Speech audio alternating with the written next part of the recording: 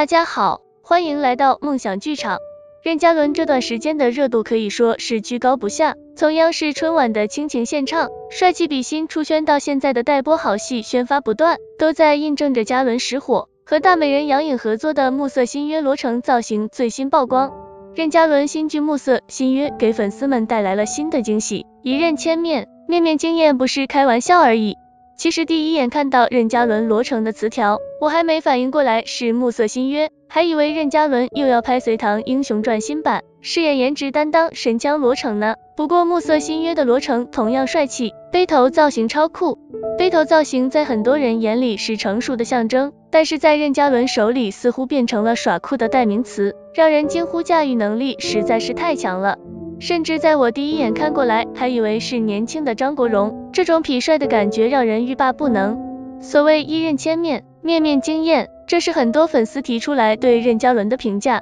并且这一评价得到了很多人的认可。有评论大赞，这个大背头造型可不可以办永久啊？任嘉伦就是这么百变，不断改变自己的形象，但又驾驭的相当出色。有超级粉丝也提到，喜欢任嘉伦就像是在开盲盒，我们永远可以相信任嘉伦在造型上和人设演技上给我们带来的惊喜和突破。盲盒有趣在于不确定性和神秘感，而任嘉伦同样是个宝藏艺人，给粉丝无限精彩和惊艳。我想很多人对任嘉伦的印象还停留在锦衣之下，酷酷的锦衣卫。其实任嘉伦已经有了更多的影视作品，无论是秋蝉。不说再见还是大唐荣耀，都向观众展示了任嘉伦是一个正在努力的，想要成为多元化的演员。目前任嘉伦已经尝试了很多类型的角色，历史剧、宫廷剧、都市剧以及战争剧，他都取得了很不错的效果，甚至这些剧让我父亲都看得津津有味，可以说真正做到了老少通吃。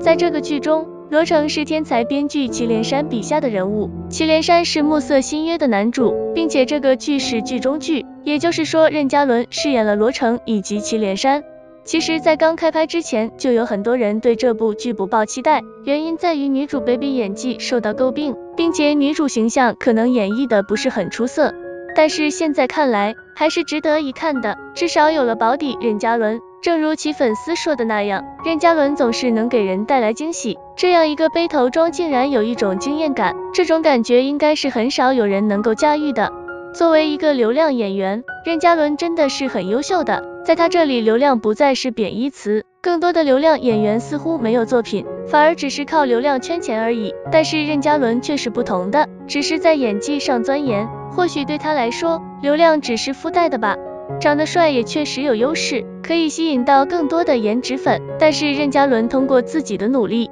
将颜值粉转化为角色粉以及演技粉，这对人来说是很难的决定。毕竟拥有了流量，就很少有人会再去努力完善自己了。说白了就是恰烂钱。我也很开心任嘉伦并没有这么做。娱乐圈也需要更多像任嘉伦一样的演员艺人，丰富自身能力，创作出更多的优秀作品。任嘉伦其实还有不少新剧，《暮色新约》祁连山、罗成、顾旭阳、玉娇寄与君初相识长忆、蓝焰突击李西成，都是任嘉伦即将热播的新剧，也希望能够看到任嘉伦不一样的人物形象。不得不感叹，任嘉伦的粉丝也非常出色，为了爱豆画了好好看的漫画图鉴，里面都是嘉伦饰演过的影视形象，粉丝和爱豆双向奔赴的爱，看得令人热血沸腾，忍不住为他们打 call。期待任嘉伦《暮色新约》与君初相识、蓝燕突击和请君等精彩作品早日和大家见面吧。